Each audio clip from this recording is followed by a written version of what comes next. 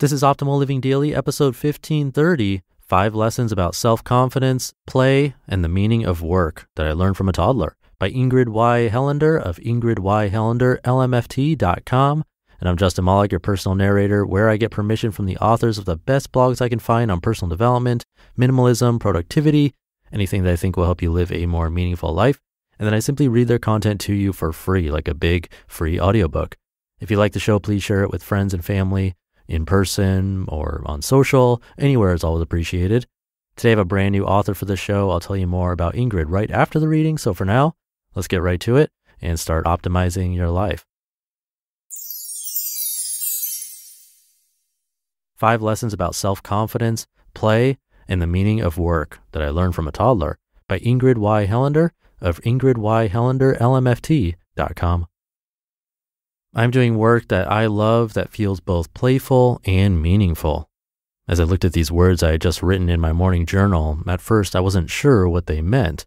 Feeling curious, I began to imagine what playful and meaningful work actually looks like. Instantly, an image of my 19 month old granddaughter Lucy flashed in my mind's eye. Like most toddlers, Lucy is always busy playing. At first glance, her activity might seem nonsensical, a flight of random movement.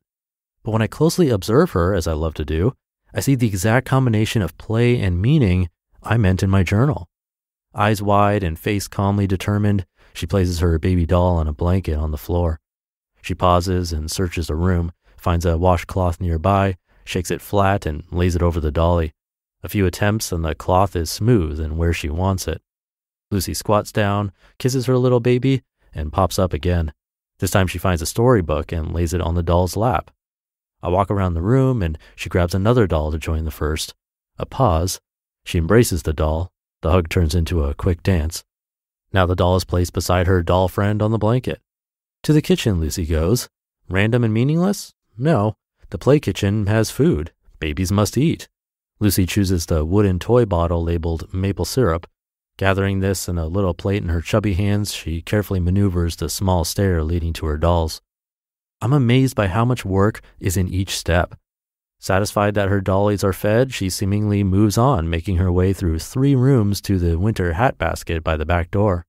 Rummaging through, she samples a couple of the hats to find one that suits her. A large mitten on one hand apparently feels just right, and then it's back to the baby dolls. Nothing random about it. She picks up a doll, and her intention is clear. She plays that they are taking a walk outside. After a brief amble about the living room, her mama asks if she'd like to go out for a walk. Yes, she nods, and she's on to her next adventure. Here's what Lucy taught me about meaningful, playful work and why it's so important that I want to share it with you. Number one, play is not just a joke, downtime, or hilarious moments with friends. Stuart Brown, MD, founder of the National Institute of Play, says, quote, Stepping out of a normal routine, finding novelty, being open to serendipity, enjoying the unexpected, embracing a little risk, and finding pleasure in the heightened vividness of life, these are all qualities of a state of play, end quote. Don't you want novelty, serendipity, a little risk and pleasure in your work? I do. Imagine what you can accomplish with these life giving characteristics leading the way. Number two, play is your natural way to learn and grow.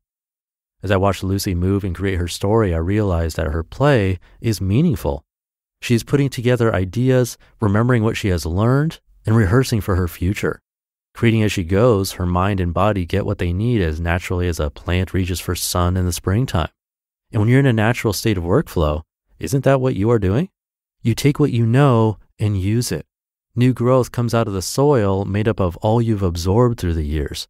It's easy to see this truth in a toddler as we know the totality of their life experience. But is it any different for you and I? How wonderful to allow our playfulness to pull together all that we hold inside and create it anew. Number three, worry blocks your ability to experience playful, meaningful work.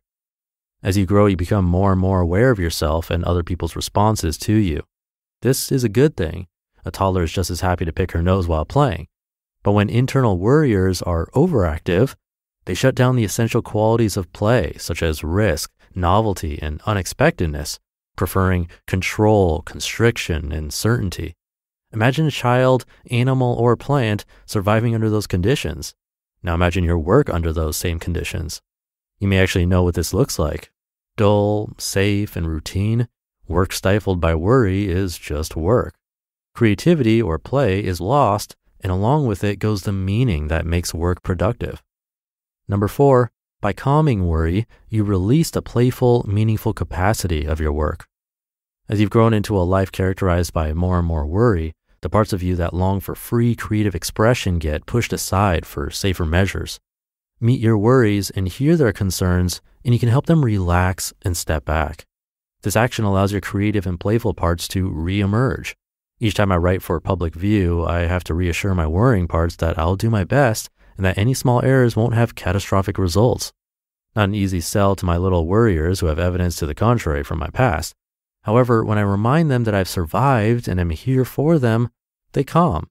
Then and only then can I begin to write to you. Playfulness can come out as I write, providing meaning as I think of the people I care about. It's fun. How will this manifest for you? And number five, playful, meaningful work leads to lasting self confidence. Each time I visit Lucy, she is more capable. Shaky steps have become certain. She can manipulate her environment more and more in ways that satisfy her. Similarly, when you're calm enough to find the playful flow of your work, whatever that work may be, you'll notice a sense of your own capability. As you recognize how capable you have become, your accomplishments fuel self confidence. Life and work are more meaningful as you engage your whole self in the process without constraining or controlling parts that wish to play. You just listened to the post titled Five Lessons About Self Confidence, Play, and the Meaning of Work That I Learned from a Toddler by Ingrid Y. Helander of Ingrid Y. Helander, LMFT.com. And really quick, what do companies like Ring, Hint, and Tecovas all have in common? They all use NetSuite to accelerate their growth. Successful companies know that in order to grow faster, you must have the right tools. Whether you're doing a million, 10 million, or hundreds of millions in revenue, NetSuite by Oracle gives you the tools you need to accelerate your growth. With NetSuite, you get a full picture of your business, finance, inventory, HR, customers, and more. It's everything you need to grow all in one place, right from your phone or computer. NetSuite will give you the visibility and control you need to make the right decisions and grow with confidence. That's why NetSuite customers grow faster than the S&P 500. NetSuite is the world's number one cloud business system, trusted by more than 19,000 companies. It's the last system you'll ever need. NetSuite, business grows here. Schedule your free product tour right now and receive your free guide, seven key strategies to grow your profits at netsuite.com slash old.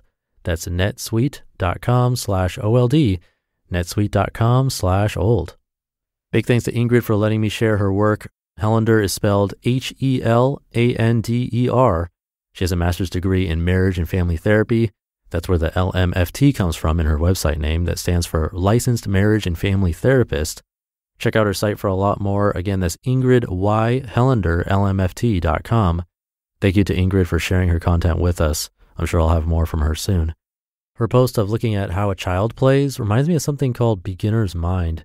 It's nice to once in a while remember what it was like doing or seeing something for the first time, like the first time you tasted your favorite food or things like that because it was so special.